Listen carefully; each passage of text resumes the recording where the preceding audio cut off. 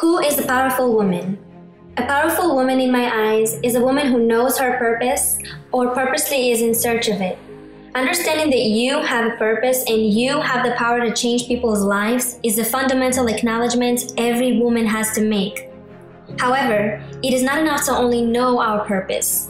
We must have courage to follow that purpose. As a young woman working in the entertainment world, I can tell you that multiple times people have mistaken my dedication and hunger as a way for them to take advantage of me. And here's the thing when your purpose is aligned with the purpose of all, you should never be afraid of missing out on any opportunity. When you say yes out of fear of missing out, you get in the competitive mind. The competitive mind thinks that the supply is limited. The supply of blessings and opportunities provided to us by God is never limited. When you question that supply, you question God. And by doing so, you question yourself, you disconnect from yourself, and you lose your purpose. Stay away from the competitive mind.